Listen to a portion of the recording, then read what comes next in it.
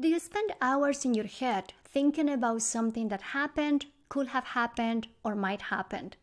Do you ask others what to do so you don't make a mistake? Welcome to the Playing It Safe podcast. I am Dr. Z, your host. I am a clinical psychologist, an author, and a person that is super passionate about sharing with you science based skills to overcome any type of fear based struggles. Who doesn't experience fear? Who doesn't play it safe? In this show, we will discuss how fear based reactions happen in day to day life, how playing it safe behaviors look like, sound like, and feel like, how you can put into action solid tips from behavioral science to get unstuck from worries, fears, obsessions, and anxieties, and how you can start doing what works, what matters, and what you care about. Behavioral science doesn't have to be boring. Thanks for listening, and let's get started. Have you ever had moments in which you felt love but didn't feel seen? Hi everyone, this is Dr. Z, and in this episode, you will learn about misattunement and how, instead of playing it safe by avoiding, placating, or judging yourself, you can learn skills to emotionally connect with people that matter in your life Get close to them and be fully present with them. Attunement is the ability to be aware of another person's emotional needs and respond to them appropriately in a given situation.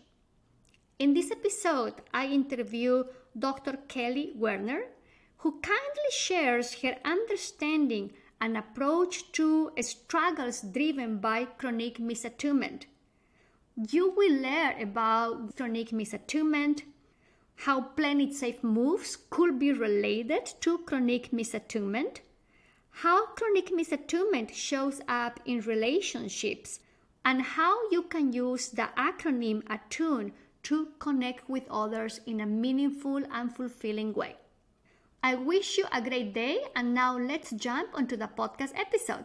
Bye bye. In your email, you shared with me your interest and passion for working with clients with chronic misattunement. Mm. Maybe I can start by asking you what's the story behind that topic? Well, it's me. I love it. So it wasn't that hard to find it. I appreciate that vulnerability, putting yourself out there. Yeah. So, a topic I'm really interested in with clients at the moment is like when, and I have a lot of them at the moment, when people have been chronically misattuned to, often by a parent or their family in childhood. But um, also, it can happen. Like one client actually, it happened in her church. Like her childhood was kind of fine, but the church was really forcing their beliefs on her and had zero interest in her. And and then other times i hear about it in marriages or long-term marriages. So it's at any stage of life but um so i have a lot of clients with it. But in my case yeah i feel like i was chronically misattuned to um i'm more of one of these empath type people and in my childhood a bit even though my parents were amazing in a million ways like they just gave their life for their kids. Um, but someone said recently that love is not the same as attunement. Mm-hmm. and so um, i do feel like i was emotionally misattuned too and then that led to me kind of coping with self-sufficiency and um, and then i think it led to me feeling depression and and then i see that in my clients too who have been chronically misattuned to like it'll lead to depression and many other things like substance abuse or anger issues and so just in my own healing journey in this lifetime um, i you know tried a million different things so that i don't feel depressed mm-hmm. um, and then i'm also really interested in helping uh, my clients kind of with the same thing and it's it's this unique category that i didn't learn about in grad school or in any of my trainings where it's not physical abuse or sexual abuse or it's by well-meaning like people that are kind of trying their best but they like you know it's emotional neglect or emotional abuse or like some gaslighting and so it's like this little t trauma that like mm-hmm. you think you shouldn't complain about or you should get over um, but actually you're you're suffering and struggling from it like as i did and, i have so many clients too that have yeah been in this situation so it's a little bit my story Kelly, as I am listening to you, I just want to say once again how much I appreciate your openness to put your story out there. I think mm-hmm. there's a lot of vulnerability what you're saying. And I'm grateful that our listeners are going to learn from you today. Um, you're describing that your parents were these really incredible, caring, and loving people. Mm-hmm. There wasn't any history of physical abuse or emotional abuse or any form of abuse. And mm-hmm. yet, even though you felt love, there was this misattunement. Yeah.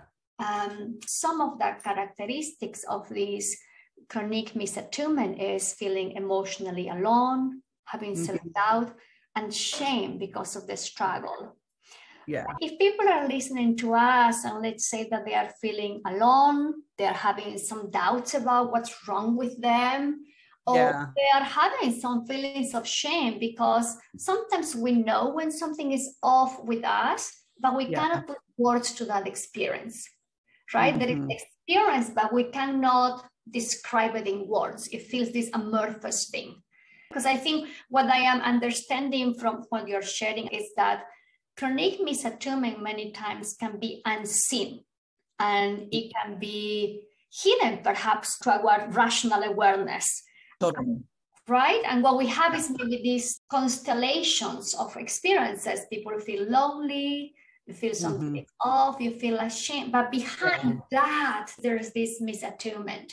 So how can people mm-hmm. look into that? Well, to me, like a, a real telltale sign is like the emotional aloneness mm-hmm. like if you're you know at home or you know 10 o'clock at night by yourself or up at three in the morning and you're like feeling hurt or sad or stressed and then you're feeling really alone in it like mm-hmm. there's no you have no one you could really talk to about what you're feeling or someone that yeah would really attune to you and care um, and be able to be with you in it like i think that that is a sign and you know for myself and many of my clients that struggle with this um, then you immediately go to the self doubt that you're all what? Why am i having problems? My life is privileged. Like i shouldn't be it's my fault that i'm feeling lonely or it's my fault that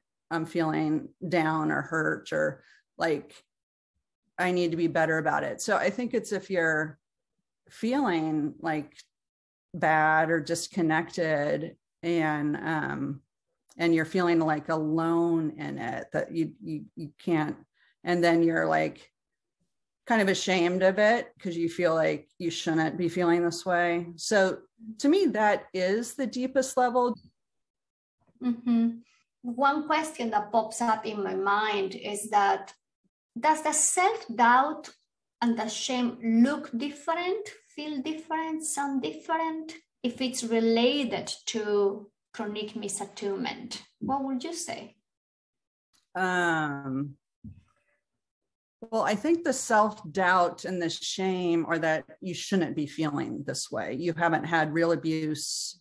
You you know you have a job or a marriage or like and so yeah i you know it's probably similar to shame and self-doubt for people struggling with other things too like maybe with addiction or something but but i kind of think this process underlies like addiction depression some anxiety like it's like what is causing mm-hmm. um, like this lack of being able to be with your own or, or, or feel like felt or co-regulated with or in tune with others. Um, like i think if that is happening chronically like that can lead to the other disorders. Mm-hmm, mm-hmm. i don't know if that's quite answering your question. No i think you answered that question. I like the frame that you're having that this is perhaps misattunement is more like a process behind many struggles. And that leads me to my next question you mentioned when you were sharing your story that one of the ways that you managed this experience of misattunement was by self-sufficiency. Yeah. Are there other forms of playing it safe moves that you have seen and witnessed that people do when they are experiencing misattunement? What do they do? Yeah, well, I've focused a little bit and been interested in this like shoring yourself up like it's maybe a little bit more avoidant attachment where you mm-hmm. just take it all on yourself and you know overwork and um, don't ask that your needs be met um, don't even know what your needs are mm-hmm, mm-hmm. Um, so those are some of the playing it safe moves if you're more avoidant attachment i guess if you're more anxious attachment your playing it safe moves would be you got to be seeking reassurance and like trying to get people in there with you but in a way that's like too pushy or or too needy or too much. Mm-hmm. um, i think another big category is um, less vulnerability like interpersonal vulnerability and um, and sharing with others like your emotional needs. Um, mm-hmm what would other playing it safe moves be? Um, yeah, probably like substance abuse. You just try and numb it all, you know. Yeah, blame others and mm-hmm. externalize your pain. Those are a few. Give us a flavor how misattunement can show up in different behaviors. If I can ask a little bit more, as you were sharing these playing it safe moves, I was wondering about the quality of the relationships when mm. a person is experiencing misattunement. How would you describe their connections? What are indicators that they have to pay attention to? Mm-hmm. Yeah, I've looked a little bit more recently again as this chronic misattunement and then people that cope a little bit more with this self-sufficiency or avoidant attachment. And so hmm. in that case i think that people are first with their relationship with themselves like they're a little disconnected from themselves because they're just trying to people please to get approval or achieve or do you know what pleases others. Um, and so there's a self-abandonment mm-hmm. there that mm-hmm. happens. So, number one, relationship with yourself is disrupted. And then, yeah, relationship with others is disrupted um, and across many relationships, not all. Some, you know, people do have psychologically safe people a, a bit, but in many relationships, they won't feel psychologically safe. And so they're not being fully real or vulnerable or asking for what they need or they're kind of disconnected from themselves and just busy and pushing through in relationship with someone else. So there isn't like a real yeah like meeting of each other with emotional openness and love and reciprocity and yeah. yeah. I find it so powerful to hear that as you were talking my mind is going to revisit all my past relationships. Like how so? What are you thinking I think many times in my life, I crave for intimate, rich, and meaningful relationships. Like, and I feel grateful when I experience that. Yeah. I'm very grateful for those connections with people. And at the same time, I think that sometimes we have relationships or we have encounters in which there is a mismatch. And either maybe I was too guarded or people were too guarded and it's hard. And as you were talking, I was really thinking about how helpful it's for all of us, for people listening to us, to really check the quality of our connections. Mm-hmm. Not so that we are connecting with others.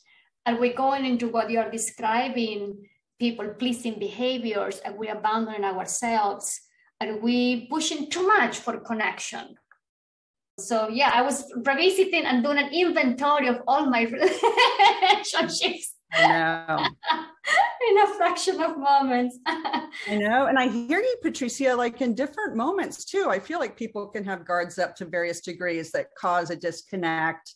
And then if they were like on vacation, a couple drinks and relaxed, they might be able to totally connect. And so that's one thing, since this is my problem too, like being chronically misattuned to and kind of have a little bit of avoidant coping style you know i have coped with having my guard up. And so something i need to do mm-hmm. is remember that even if we're not quite connecting right now this means that either i'm not able to fully let my guard down or they're not. It doesn't mean that this is the quality of our connection. Like it could be more or deeper than this. Like i try and really open to that um yeah Love it, love it. I think that is really important because our relationships are like organic entities.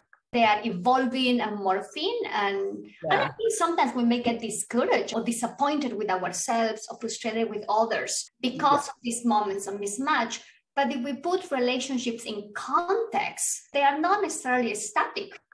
Hopefully, we also experience moments of connection and goofiness and intimacy. Um, yeah. And that leads me to my other question. Um, as we are talking about chronic misattunement, how it can be unrecognized by many of us yeah. through our eyes and through our mind, I can hear some of my clients and our listeners wondering, how can I make a shift? If I'm yeah. feeling this mismatch in my relationships, um, if I have more an avoidant style or I have more an anxious style, what can I do about it? Would you mind sharing some tips or principles that people can put into action in their day to day life as they go back to their relationships? Yeah, yeah. And so, yeah, I think step one is to really take care of yourself. Like if you are feeling like a little triggered because someone didn't attune to you or you feel like they missed you, um, and it is you are a little extra triggered by it because of your history i think step one is you just want to like love yourself like you know oh like kelly or patricia like yeah you were hurt this way when you were younger so of course you're getting a little extra triggered that this person you know looked the other way while you were trying to talk to them and um and to just take some deep breaths and like give yourself a little bit of love. And so, like a lot of self regulation tools, mm-hmm. we have acceptance commitment therapies, self compassion, mindfulness based therapy. So, I think to take care of yourself at first, and then um, when your nervous system like is a little bit more like calm down, um,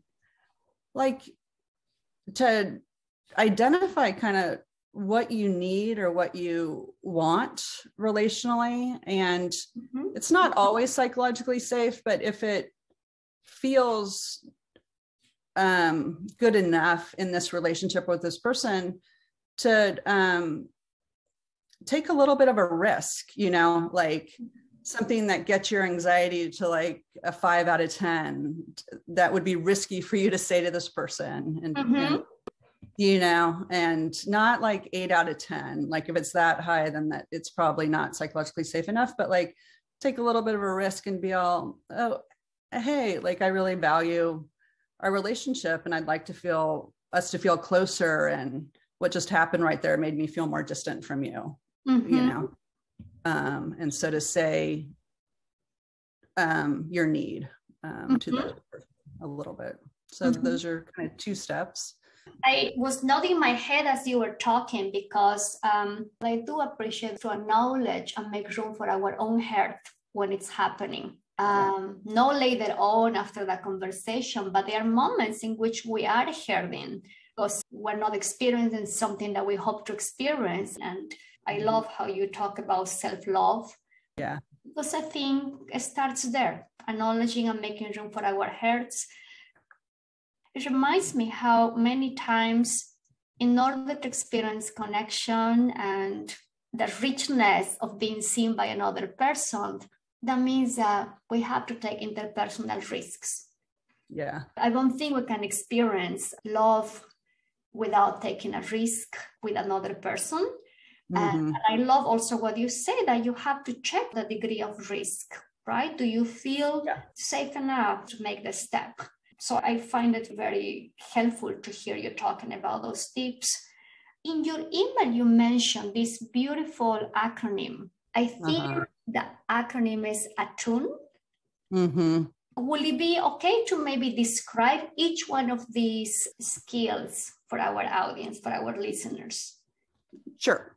And so, yeah, so I'm, you know, fascinated with this topic. I love um, helping clients with this and I, I, grow. And so at the moment, I've come up with an acronym name, Attune, and it's going to change and evolve over the years. But this is where I'm at today with a good six steps to work with yourself. Um, and so step one is to acknowledge that you're emotionally misattuned to. Like I have so many clients that are all, no, I can't think badly about my parent. Like they tried so hard, they gave everything. And then they aren't acknowledging that they're actually really emotionally hurting underneath and then doing a lot of safe behaviors or compensatory behaviors. And so, step one is to be all, no, like my parent just had lower emotional intelligence, or they really didn't learn from their parents, like how to do this whole empathy thing. And, and so you don't need to blame who's doing this, you can just accept that their emotional intelligence skill might be lower, but you acknowledge that you were um, some of your emotional needs were really not met. So that's so A is acknowledge. Uh, st- step two is T to tune into your higher self, and so this is kind of self as context and acceptance and commitment therapy or awareness in buddhism or self leadership and internal family systems therapy. It's like to shift from the your your thinking mind to more your observing self. And it's from that space that you can kind of catch your triggered reactions and bring yourself self compassion and so just kind of shifting from that small self to a bigger self. So mm-hmm. Step two is T to tune into your higher self. And then mm-hmm. step three is T to tend to your emotional needs. And this is kind of what I said earlier like to mm-hmm. soothe yourself, use emotion regulation to calm your system down if you're really distressed or dysregulated, use self compassion. Step three. Um, step four is you, which is to undo emotional aloneness.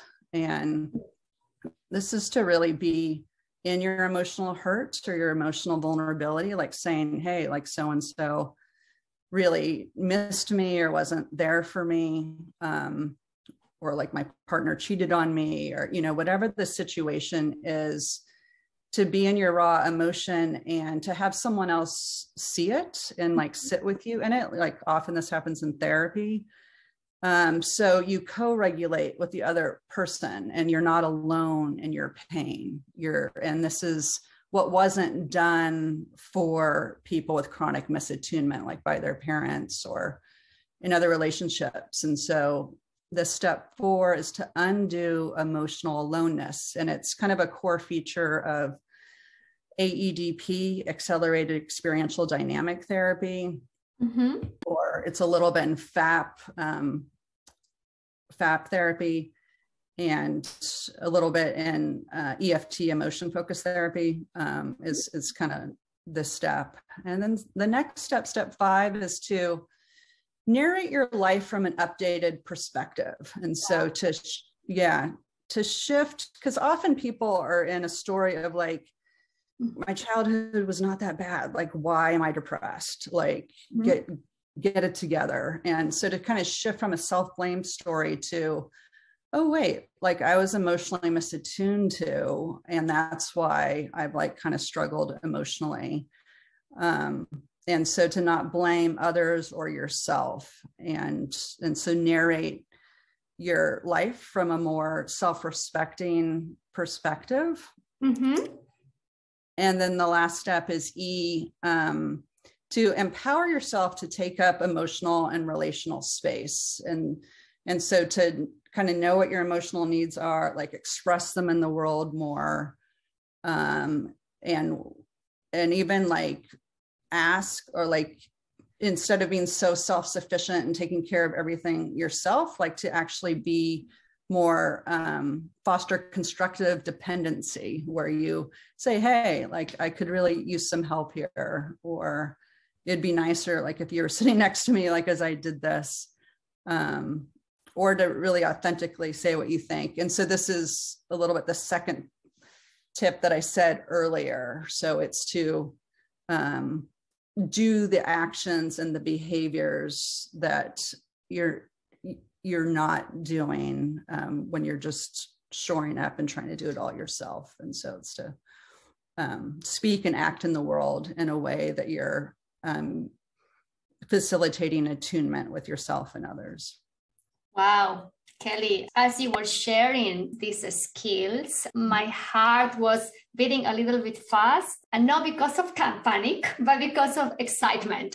really? It was because of joy, because I cannot imagine how it is to reconnect with ourselves and with others practice these skills and experience yourself in the context of this new frame, of this new mindset with others and with yourself. So they all sound really empowering and a path to experience connection and intimacy. That's why my heart was beating fast. I love it, Patricia. Yeah.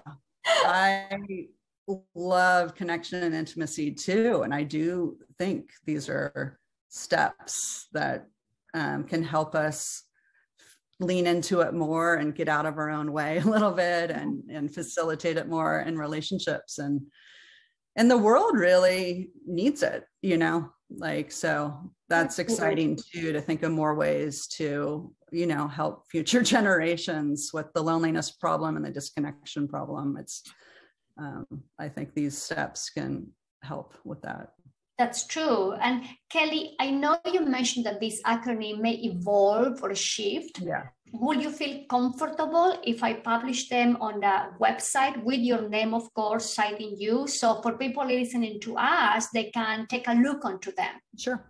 I will do that and I will just link it to your website as well. Uh, it is helpful to have a roadmap of yeah. the work that we need to do. And I think these steps plus the conversation are providing that to our listeners. So many, many thanks. One thought that was in the background of my mind, and hopefully it's a helpful thought, we will see, is that when we think about human struggles and the things that we're stuck with, there are some names and forms of it that are very well known, like mm-hmm. social anxiety, productivity anxiety, obsessive compulsive disorder, depression, and it gives us a roadmap so we know what to do about them. But there are yeah. other times, other forms of pain that are invisible and they are hidden. And we go years with that feeling, knowing that something is off, but we don't yeah. have the name to it. So I am very grateful that today we're talking about the invisible pain of chronic misattunement that a lot of people may be dealing with without knowing.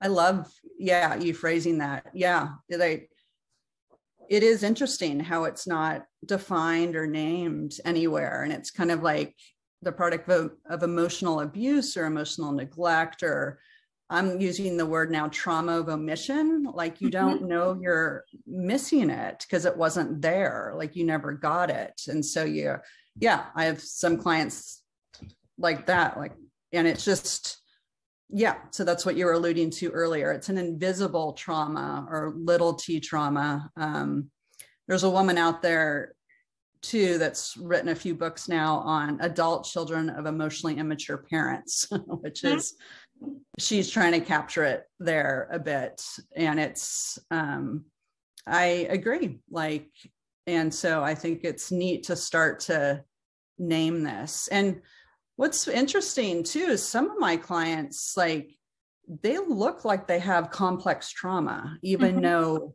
they didn't, you know, they weren't tortured or that, you know, they didn't have, um, they weren't feeling physically unsafe, but it happened like thousands and thousands and thousands of times through childhood that it like it's so many it's like death by paper cuts um and so it, it's it's a big deal. It is it is a big deal. I am very grateful we're chatting about it. And kelly i have one last question. If you were to have a cup of tea or coffee or a beer or a scotch with any person you want today who will that be and why? Let me see. You know it would probably just be my mom. Um mm-hmm. she had a stroke and or an aneurysm yeah like a stroke and then was just gone one day you know she was only 72 so didn't really get to um yeah talk about this lifetime we had together and so it'd be neat to be able to do that. I'm sure it will be a very sweet conversation we run out of time. So, really, thank you for this opportunity to talk about it a bit. It's, it's awesome. it's a pleasure. It's a pleasure. Thanks for listening. If you like this episode, I will very much appreciate it if you will subscribe and share this podcast with your friends. And if you're feeling extra generous, I welcome a review on Apple Podcasts. Show notes of this episode are in the website playingitsafe.zone. Make sure to subscribe to my newsletter so you can receive more tips to stop all types of unworkable playing it safe actions. See you soon!